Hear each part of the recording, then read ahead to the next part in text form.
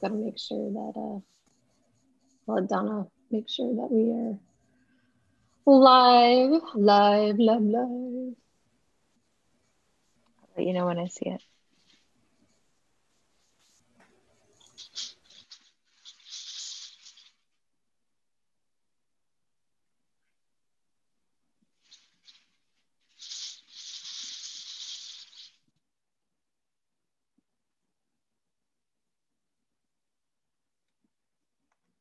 You see it?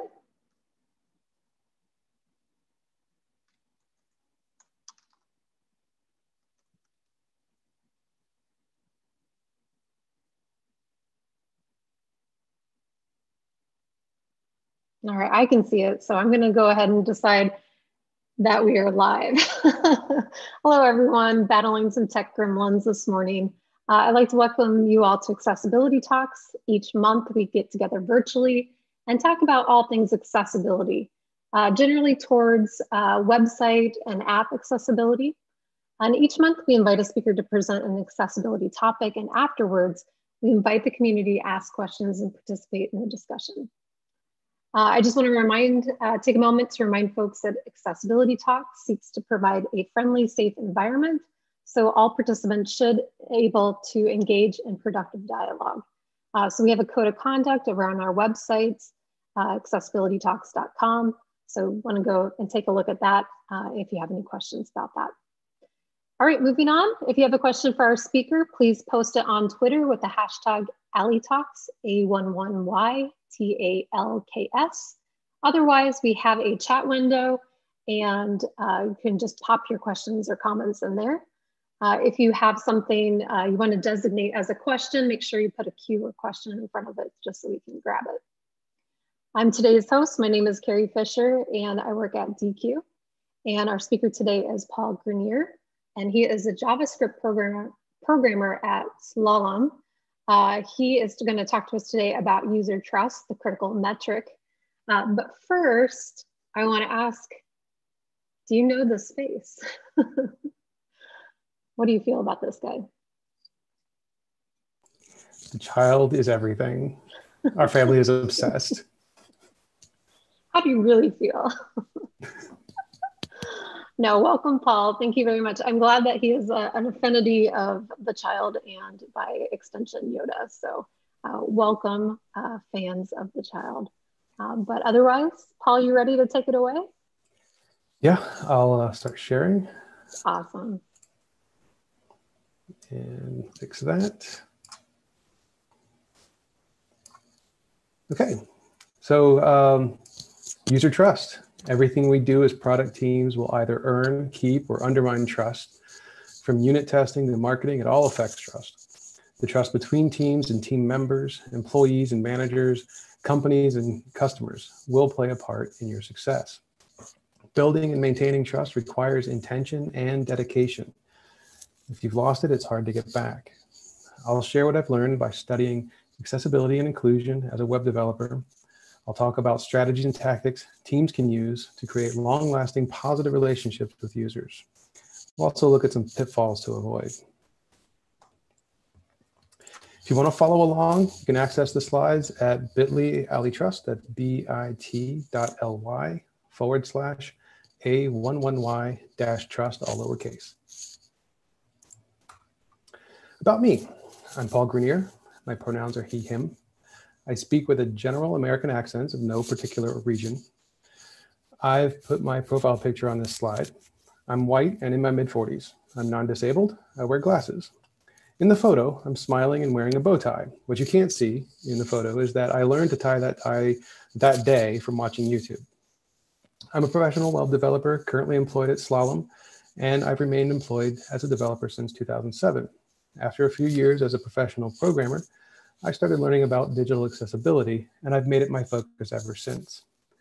I haven't conducted any academic research into trust, and I'm not being paid for this appearance or opinion. I made this presentation because I'm passionate about making the web more accessible. I'm telling you this for a few reasons. First, I'm being authentic.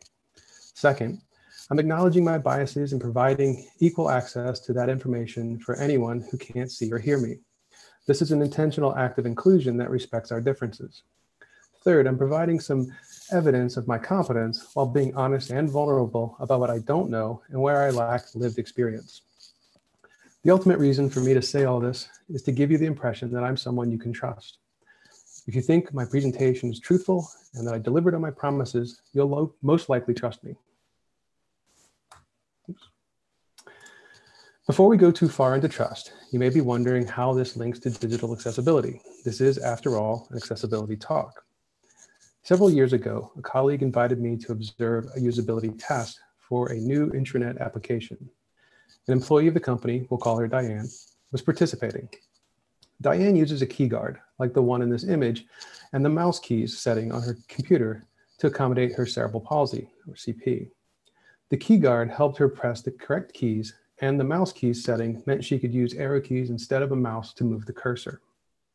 The development team spent considerable effort making sure the new application was keyboard accessible. The team was eager to get feedback from a real user like Diane.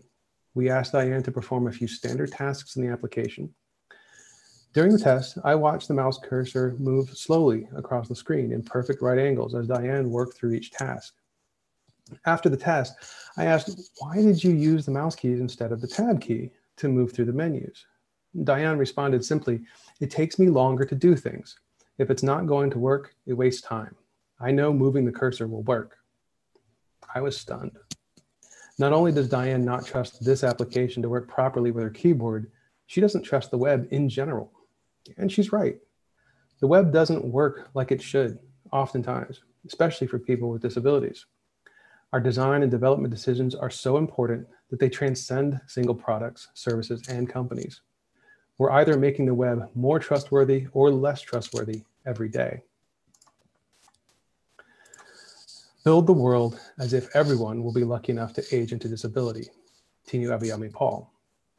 Non-disabled people will all become disabled through accident, illness, or old age if they live long enough.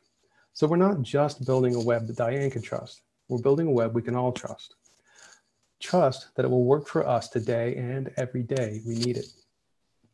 I've met a lot of people practicing privilege driven development, PDD.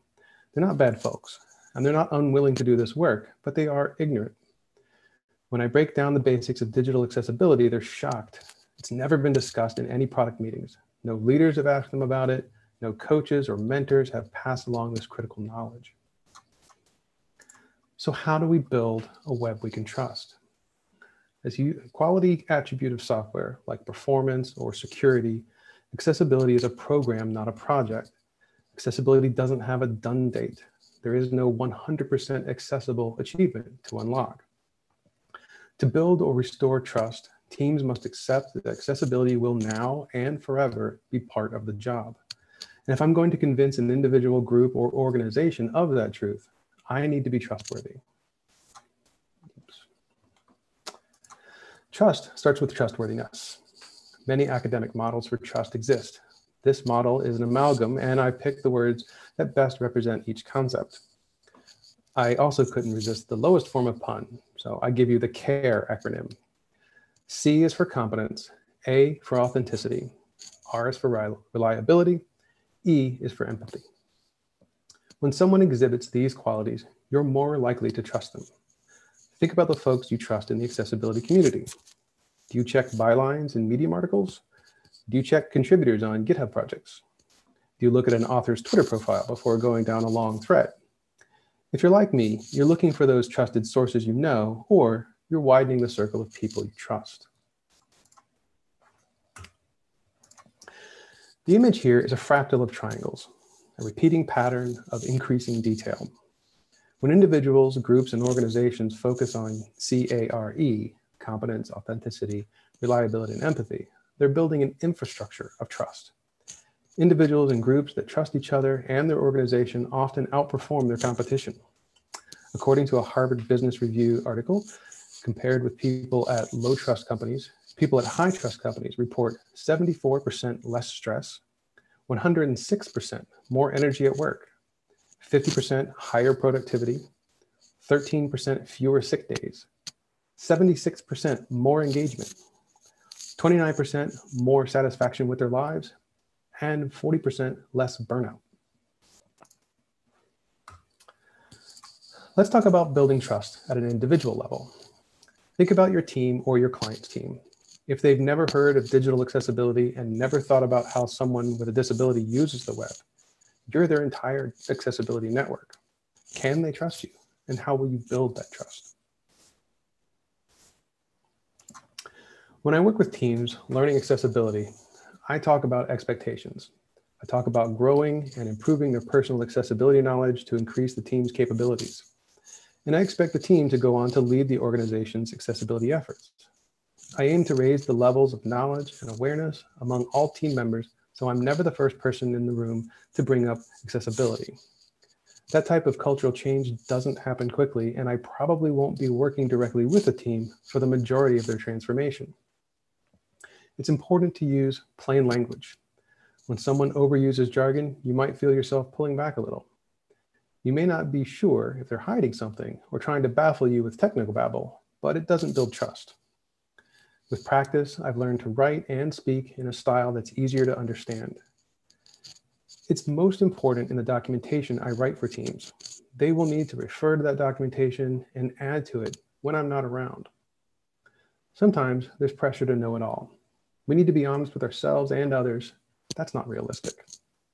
If I'm giving someone a quick answer without verifying it first, I'm sure to tell them so, and I make a note to myself to follow up if I get new information. If I have an, if I have an answer based on someone else's work, I always provide a link to the source and say the person's name if I have a chance. After all, nearly everything I know about accessibility was pioneered by others. Sometimes the most authentic thing we can say is, I don't know. When I need help, I reach out to others I trust. It might surprise you to know that showing vulnerability and asking for help makes others more likely to trust you. As hard as I try, I still give bad advice from time to time. I correct it as soon as I can and apologize. I update my notes so it doesn't happen again. Making excuses doesn't build, doesn't build trust. Remember when I said accessibility will now and forever be part of the job? That can be devastating news to someone.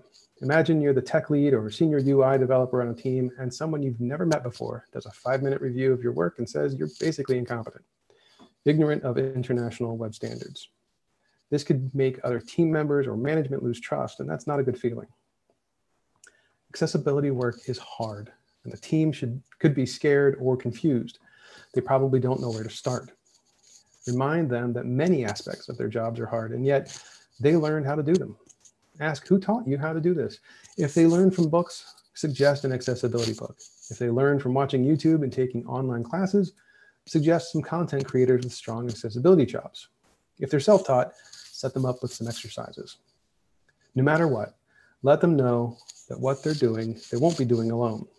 Not only will you support them, but you can introduce them to the most inclusive community on the internet, where everyone is rooting for them to succeed. Success and failure are less important than knowing that either outcome will be met together. An accessibility program can survive mistakes, but it can't survive a failure of cooperation. The image here is called the hierarchy of competence. It's a pyramid with four levels. Unconscious competence, or wrong intuition. Conscious incompetence, wrong analysis. Conscious competence, right analysis. And unconscious competence, right intuition. Imagine something you're bad at. Now imagine you don't even know how bad you are. At the lowest level of competence, people can't recognize problems as they occur and don't know to ask for help. To get people out of this level, we have to focus on giving them very detailed tasks with clear objectives and check in frequently. We need to create a safe space for them to ask questions and get feedback, and we must celebrate their successes. Teaching someone how to take feedback and start their never-ending learning journey isn't really covered by the Web Accessibility Initiative guides. I can focus on my own competence through continuous self-directed learning, and I feel comfortable coaching someone else along topics of front-end development and accessibility. But that presumes they are self-motivated or intrinsically motivated. I've never been in charge of the carrots and sticks, those extrinsic motivating factors leading someone to want to learn about accessibility is something I'm still working out. So I deal in the only currency I control, kudos and time. If someone asks a good question or engages with my campaign of awareness, I'm generous with my time and deliver positive feedback. Remember the fractals. Learning organizations are composed of learning teams, learning teams are groups of learning individuals. Maybe I can't get, figure out how to lead everyone, but if I can coach a natural leader, it could have the same effect on the organization. Personal story time. About 20 years ago, I wanted to make dinner for my partner, Robin. I bought some expensive fresh pasta and some fancy mushrooms, along with the ingredients for my Alfredo sauce. Since that day, my creation has been referred to as black pasta. I didn't know you have to remove gills from portobello mushrooms, and I turned the Alfredo sauce black. It was a total failure. I was frustrated, upset, and embarrassed. Robin was hungry. In my case, the few successes I had had in the kitchen gave me a false confidence. I didn't know what I didn't know, and I was a risk to dinner. To earn Robin's trust and get free access to the kitchen, I'd need to up my game. Robin, a natural educator, created a safe space for me to continue learning while ensuring I would receive important feedback. Robin instituted the pizza rule. If someone made dinner, the other person could order pizza and the cook can't get mad. Eating food, reading about food, and relying on instinct never amounted to skill in the kitchen. I needed to deliberately practice. I needed a process intent on improvement. In the accessibility principles, we have perceivable, operable, understandable, and robust, P-O-U-R. Reliability fills the same role as robust in the trust model. Across components, apps, teams, and organizations, consistency will help others learn by your example. It also helps make connections, it helps others make connections and see patterns that will help them internalize the accessibility principles. Following up on my questions and following through with tasks builds trust. One of my challenges working with teams has been remaining approachable.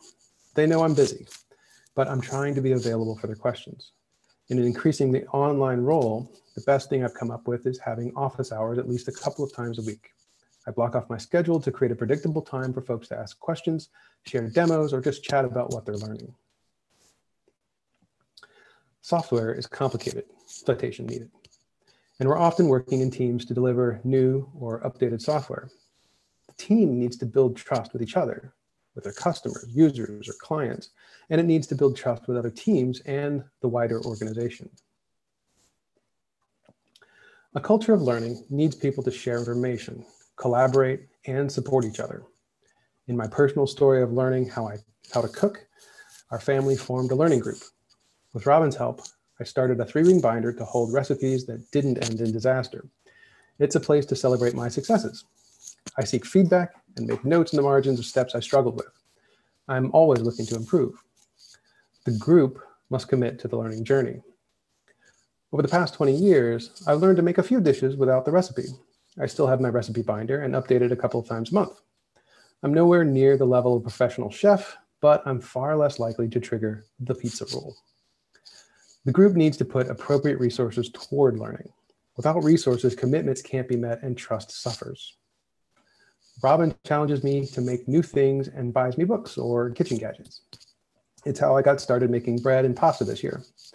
For the last few years, we've subscribed to a mail order meal service, and our teenager often helps. We've all learned new dishes, techniques, and ingredients. It's maybe a shock, but the 10,000 hours rule, that's a myth. Practice makes permanent. If you practice without intention of improvement, you won't improve. When it comes to software or product development, it doesn't matter how long you've been doing it. It matters how long you've been trying to improve digital accessibility that will dictate success. Many of the teams we work with likely have mere days of accessibility experience over their entire careers. We must be patient with them and teach them to be patient with themselves and each other. They will need a safe, supportive environment that values learning, shares information, and celebrates success. My approach doesn't reduce the importance of this learning journey. We need everyone to get out of unconscious incompetence because that's where ableism lives. And ableism leads to exclusion and harm. In addition to realistic expectations for learning, teams and organizations need to build and communicate the shared vision for accessible products.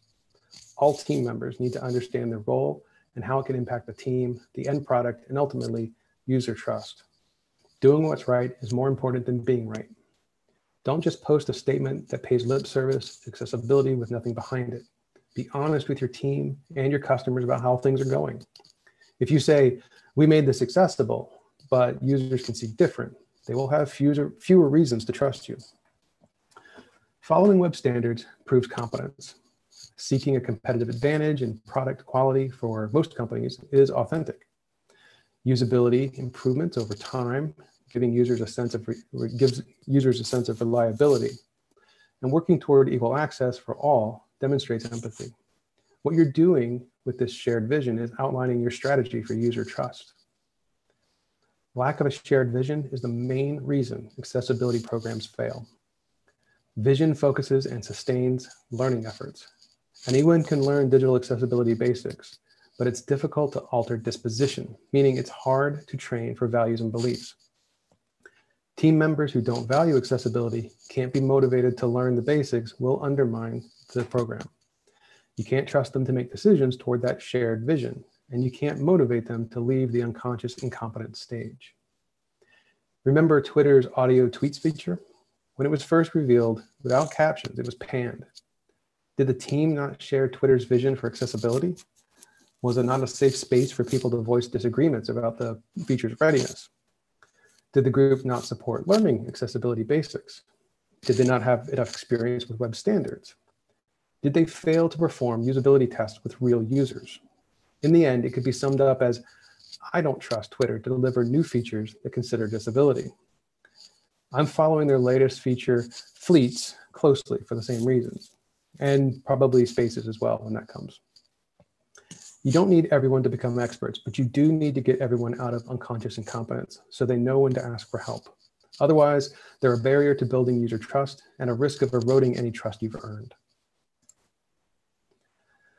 Following standards and caring deeply about accessibility isn't enough to prevent bugs or the occasional bad hunch.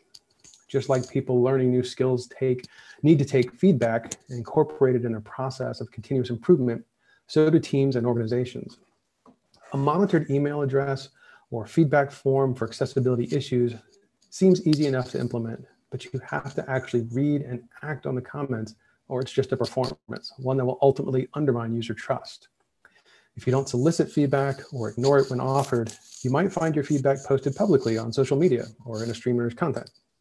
When Molly Burke, a blind fashion influencer with millions of followers, shades your online store for its poor accessibility, you don't want to be the last to know. If Steve Spohn, CEO of Able Gamers, thinks you've ex uh, excluded folks from your video game, he'll tell the world on Twitter after it ships, but before most folks have decided to purchase it. When the team or organization gets negative feedback, don't cover it up. Treat it as a challenge and work together toward a solution. The process will increase trust all around. Just like my story about Diane, I can't stress enough the value of the entire team observing a usability test, especially when the participant uses the web differently than anyone on the product team. Share these results widely. If the results are negative, remember the hierarchy of competence pyramid if someone else had the same intuition or incorrect analysis of a design, seeing its failure can create learning opportunities. If the results are positive, there are few better ways to show the team the impact of their efforts. This stuff really matters to real people. Make delighting users in all their variabilities part of your shared vision. Celebrate success and look for opportunities to improve. Talk about the importance of trust. Organizations are complex, citation needed. Sometimes individuals far removed from how the organization makes decisions won't trust the organization. If enough individuals on the team feel that way, there could be problems like higher cost, turnover, and missed deadlines. Organizational leaders can work on their individual competence, authenticity, reliability, and empathy, but it's hard to apply those characteristics on a larger scale without just repeating the advice for groups. But there are a few things that organizations can focus on that will help individuals and teams build trust within the organization. We define the attributes of systems while we build them, not after. Fixing accessibility issues in a product is important, but big wins will come from fixing the processes that allowed them to ship in the first place. Fixing a process is an ideal task for groups because no one can work on it alone. It helps build trust. Organizations need to facilitate communication between teams and functions to improve process. Silos breed distrust. Set challenging but achievable goals for your teams. Sheri Byrne-Haber wrote a great article about digital accessibility objectives and key results, or OKRs. There's some great ideas there for setting expectations. Once the expectations have been set, let the teams get to learning, experimenting, and innovating. Learn to anal analyze issues. Learn to find the bad assumptions or incorrect analysis at the root. Integrate better training, reviews, or automated checks around the problem process. You're not just patching code, you're improving a complex system that creates other systems. And systems resist change, even if the change is positive. If people don't trust the organization, they'll keep their heads down, avoid blame, and not help the organization change for the better. Like anything else, the distance between theory and practice of changing internal processes will expose you. It will take a culture of, it will take culture, resources, and commitment for an organization to develop competence at improving its processes. While leadership is responsible for quality culture, resources, and commitment, it's up to the individuals and teams to make it work. Give everyone time and support to learn. When it comes to making products and services more inclusive, becoming more inclusive as an organization helps the most.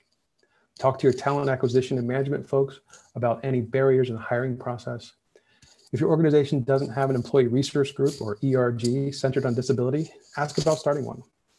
Make sure the tools you use and expect others to use are accessible and write inclusive documentation for work processes.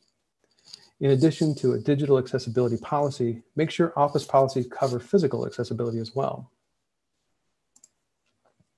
When it comes to building trust within organizations, I found three behaviors that seem to have the biggest impact. Sadly, I've also worked in organizations that actively disparage these behaviors. Autonomous, self-directed, self-organizing teams flip the classical idea of management on its ear. Strangely, some of these organizations got excited about hackathons, like they could schedule inspiration or innovate over a weekend. First, swarming is any time more than one person is working on a task. Learning, empathy, engagement soar when this happens, especially when it involves cross-functional roles. Keep teams small, but keep communication lines open between teams and let them collaborate. It's okay to ask that the sessions have agendas, minutes, and tasks, but don't prevent meetings between groups. Encourage everyone to keep a digital notebook of what they're learning and what they'd like to learn. Ideally, the notebooks would be easy to update, organize, and search. Something like personal GitHub wikis or Microsoft OneNote works great. Teams and swarms can document their assumptions and decisions, which will help continuous improvement efforts later. Lastly, 10% time can help folks make huge progress toward their personal learning goals, self-organize on tasks that interest them, or conduct experiments to test their ideas. These behaviors should be integral to any accessibility program. Sponsor the Accessibility Community of Practice, or COP. Allow the community to meet regularly and give them at least 10% time to follow their inspirations get them to publish what they're working on, deliver presentations, or hold workshops so others can participate as they embark on their own accessibility learning journey. I hope you've enjoyed this discussion of trust. I've enjoyed putting it together, and thanks to everyone at Accessibility Talks for inviting me and making this happen.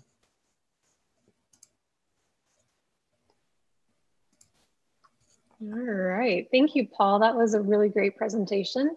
We're going to post the links in uh, the chat uh, after it's posted, after uh, the video is posted later.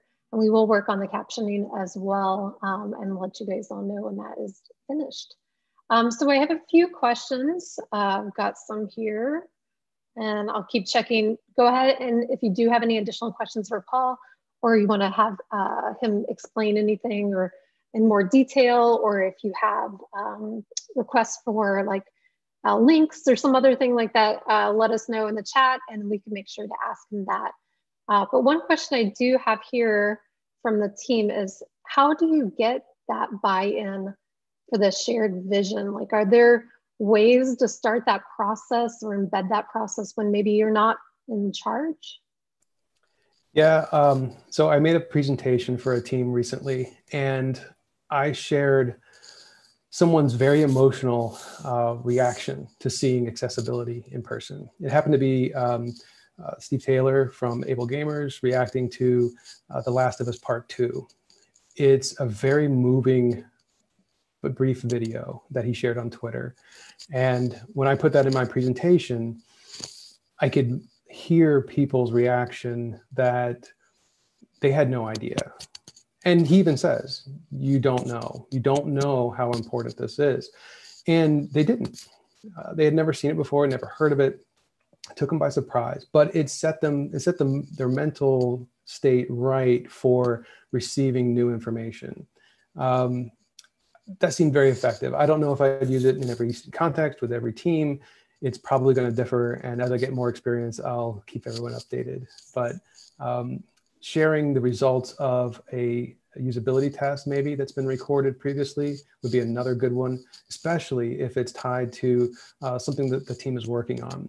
Seeing someone struggle through a UI or through a menu and um, and ask what seem like obvious questions for someone who might be sighted or have the dexterity to move a, a mouse control in a very fine, tight arc, uh, they start to realize that they really just don't know that much about how the world as a whole uses the web. And that's the part of getting them out of that first level of unconscious incompetence where they don't know what they don't know. We have to figure out a way to get it in front of them and get them mm. to admit those dark corners of their own knowledge. Um, once they can get past that, then there's a chance. I, am over here nodding and smiling because I, I've seen this more than once happen. Um, and I don't, I don't necessarily even know that it's always about uh, accessibility or disability or usability. Um, it's just the fact that sometimes you just get wrapped in that bubble, that project bubble, and it's almost like you have blinders on and you can only see the tree that's right in front of you and you forget there's this giant forest around you as well. So, yeah, yeah. one thing that helps me there is that I was that developer for a while. I took great pride in the craftsmanship and the effort I put into something, um, the number of tests I went through, the performance metrics that I developed, and ultimately um, that mattered. It yeah, I was going to say, what did that even mean? it wasn't until about five or six years into my development career that, yeah, I, I realized that none of that, nobody notices that. What they notice is, does it work the way they expect it to? And does it work for them? And when it doesn't, it was just a it was a disintegration of what I thought I was building was my credibility and, uh, honestly that trust before I had a word for it.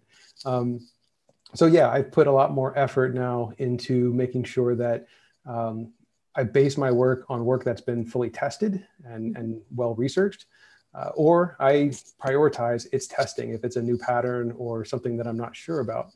It makes a big difference. And the teams I'm working with, um, when they get a chance to work with someone who is a native screen reader user, for instance, they they really get a lot out of the experience. I don't have to say much during those, you know, mm-hmm.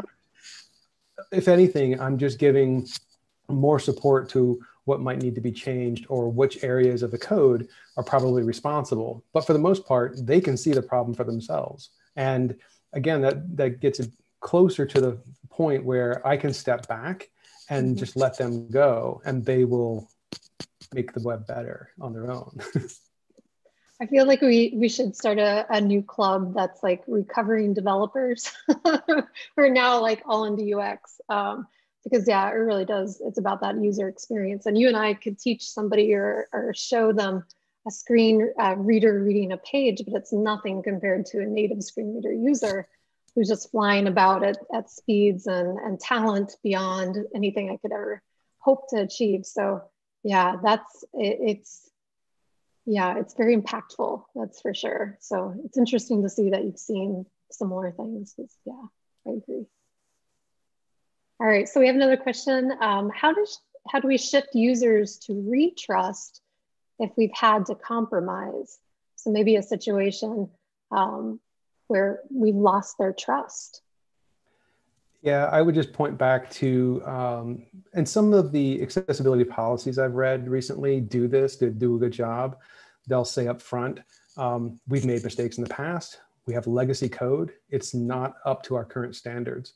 In some cases, it may never be up to our current standards.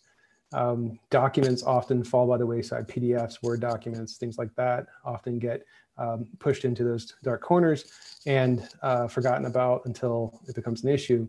So I think just being transparent, knowing that the team is working on it, they have standards for anything that's new, they have remediation plans for some things that are uh, that are not going to be sunset or, or being taken away, um, and then keeping the lines of communication open with customers uh, to make sure that if they have something that they are using and having a problem with, that it can be reprioritized by the team. The team needs to be responsive to that. Um, like I said, otherwise you're going to end up getting trashed on social media or they're going to leave for your competitor. Um, it, it, there's a lot of other possibilities, and most of them are definitely not good for the organization. It may not impact someone individually, but um, that's where you need the team and the organization and the individuals to all be trusting each other so that they know they're all on the same page. That shared vision is really important for that type of thing. Knowing that the organization is going to support them changing their priorities, maybe mid sprint, mm-hmm. to take care of a critical issue for a user, I think that's what matters. And product owners have to be accommodating of that. So it sounds like the first part of that is to admit, you know, that we're human and not perfect, and our products as such are not perfect, but that we are trying our best, and you know, we're going to continue to make mistakes, but we're also going to continue to fix the issues that we do find or that are reported. And and saying that you're going to do that, and then actually following through with it, it's like connecting those dots as well. It sounds like connecting the dots is um, how how well you connect those dots and how mm. how firm that connection is is part of that trust dynamic. So when you say one thing and do another, or you say one thing and don't follow through on the commitment, it's a signal to people that you're not to be trusted. And when that comes from an organization or a product team, um, it's you know it's likely to cause a rift, one that makes you ripe for being taken over in your market space or for your competitors to sneak in and, and, and steal those customers. It's just one of those things that CEOs understand trust. They may not understand digital accessibility when I'm talking about it, but they should understand trust and they should understand that not having trust is a big problem for their operation and also for their products. So that's the other thing I've been trying to do is trying to speak in a language that most people understand, even if they're um, not familiar with digital accessibility or disability, because mm-hmm. you know, it's if you're if that's not part of your experience, um, it might just sound technical and it might sound like that's the developer's job, but trying to get across that it's every person's it's part of every person's job, right? We all mm-hmm. have something to do that has a relationship to these things that we're shipping or, or, or sending to our users. So it's really important that we're all working together and we're all on the same page. Um, unfortunately, if someone absolutely is just there in name only to collect the paycheck and isn't going to get on board, that's the tough decision that organization has to make. Um, but yeah, I, I, I think that that's more rare than you would mm. think. Especially so when the organization like a, can carrot can can do those carrots and stick things.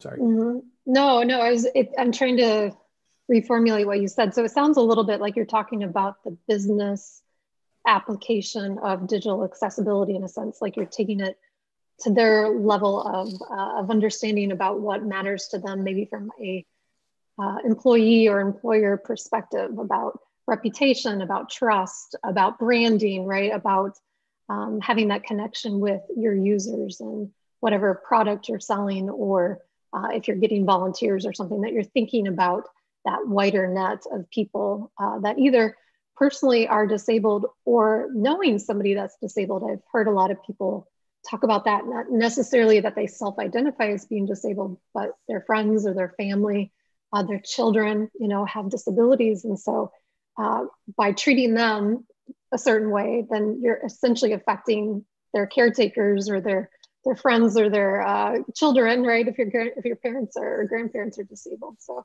it's that you know maybe, maybe it starts with one person, but it's like this wide net. Yeah, absolutely. And um, one of the more I'll say trickier things I've done in my presentations recently uh, I've talked about the importance of tactile paving. So it's the bubbles that you see at the uh, end of a crosswalk or uh, or, or um, sidewalk where there's a curb cut, and it's it has a couple of purposes, but one of them is to align the person with the other end of the safe passage.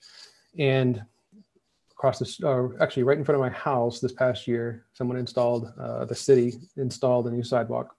And I took pictures as it evolved. The first installation of the tactile paving was not aligned properly. And if someone were to rely on it, they would have ended up in the middle of a two lane highway. That's not safe. Without, any, without anybody calling or me having to complain, someone had to come out, jackhammer out the, uh, the sidewalk and put the tactile paving in properly where it aligned with the other side. So the trick is once you show people how this works and how simple it is in its approach and how actually brilliant it is, um, they can't unsee it and they see it everywhere. So people are out for a walk or they're in, you know, they're in town, going to a restaurant or shopping, and they just look down and they notice the tactile paving and they immediately look to see if it lines up with the other side. And they tell me when it doesn't. They tell me, "Oh, I found one that you know wasn't installed correctly," or "I found one that's going to get somebody hurt." I mean, I, I don't rejoice that the fact that it was installed incorrectly, but I'm glad that they're starting to learn about the disability and accessibility world and um, and how you know these things matter and paying attention to the details makes a difference in people's lives. So the digital extension again, for people, you don't have to understand the web uh, to know that those types of things exist. And it's almost like as an 80s kid, I remember this old commercial from the Tootsie Rolls. Uh, so like well, everything's a Tootsie Roll. Once you start seeing it, you can't stop seeing mm-hmm. it. Mm-hmm. Um, that's the way it is for us with accessibility. Once we start seeing these patterns and how important they are, it's very difficult for us to unsee them, them, and not see yeah. them everywhere. So I'm I'm hoping to give that little brain bug to everyone so that um, I like that brain bug.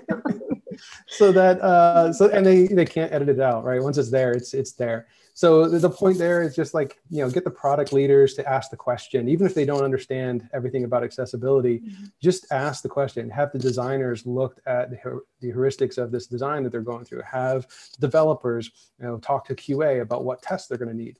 And has anybody looked at what parts of the WCAG it covers? Like those types of things, if they're not talked about and documented early, I start getting nervous. And then I know that I have to go shifting left farther and farther and deeper and deeper into people's brains. so if you have time, we have, we're getting close to the top of the hour, but how would you build that empathy um, internally or maybe if you haven't been exposed to it how do you even like you started out how do you know what you don't know like what are the first few steps to that uh, initial awareness state that's the hard truck. Uh, that's, that's, the hard trick. yeah, that's a hard. That's a hard one because I've been in organizations where um, they literally refused to acknowledge the need for accessibility until they were getting sued. And I've been in organizations where um, it was a customer's request. Or currently, like if they're trying to extend into markets like Canada, where the where accessibility law, like AODA, are more enforced, then they become it becomes a, a, a competitive advantage issue. And they they think oh well we'll just be able to add accessibility no problem right? Right? And nobody is stepping forward to say that that's going to happen you mean like the week before you launch, right? Yeah, that, we can just build it right in. That's fine. it's it just works, right? That's just the way it works. Mm-hmm. Um, once they find out from a professional what's involved and what the team is going to need to do, they start to get a sense for it. Um, it still can be a very, like I said, traumatic moment, and hopefully the moment passes. But like I said, as professionals uh, who know something about accessibility, we can show empathy empathy with them and help coax them along through the process uh, assure them that they'll figure this out right? Assure them that you know your competitors can do it other organizations with less resources can do it. There's nothing holding you back. Um, we just have to work on it together. We have to cooperate do all the things you know the things. Yeah. Yeah. All the things. No i know what you're saying so, do you see, like, I'm just wondering, are you a pessimist or are you a realist or an optimist? What do you think the future is gonna gonna be when it comes to digital accessibility in the next, I don't know, five years or so? Next five years. Um, the next five years, I see that we're going to have a lot of the same. So, if I think in terms of the Web WebAIM million uh, websites, I don't see those numbers getting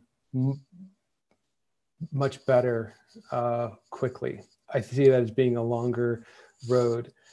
What I do see though is um, a, seg- a segmentation of the web into the high quality web and the not so high quality web, and people sharing information amongst each other about where those things lie. So, if it's a um, you know if it's a social media site that you can trust to work mm-hmm. correctly and work with your AT, then that's the one that you're going to share with your friends and that's the one that is going to gain more traction. So um, i think companies business models that aren't considering that aspect of the market uh, especially since it's growing populations are aging we're all becoming more disabled um, and technology is becoming more a part of our lives more reliance on it. So i think that there's definitely um, you know room for that conversation to happen I'm not a mm. business administration expert. I don't really understand how money works. So I leave that for others.